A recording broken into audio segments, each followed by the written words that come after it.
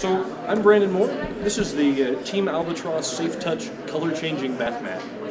And uh, we've designed this project for our engineering entrepreneurship class, which is our senior design class. Uh, and if you want to come over here, we have a demonstration. So this is the bath mat itself. The, uh, the character on the front here is from the popular television series SpongeBob SquarePants, and we think that licensing cartoon characters will, will uh, increase the desirability of the mat for children and parents with young children. And in this, in this case, you can see that both of these sections here, this section is a darker green color, and this section here is a darker purple color, indicating that the bath water is too cold to put your child in, and it could cause hypothermia for extended uh, exposure. Whenever I, let me see if this water's going to be hot enough. Yeah, that'll be fine. When I pour this warm water over the mat, you can see it change color.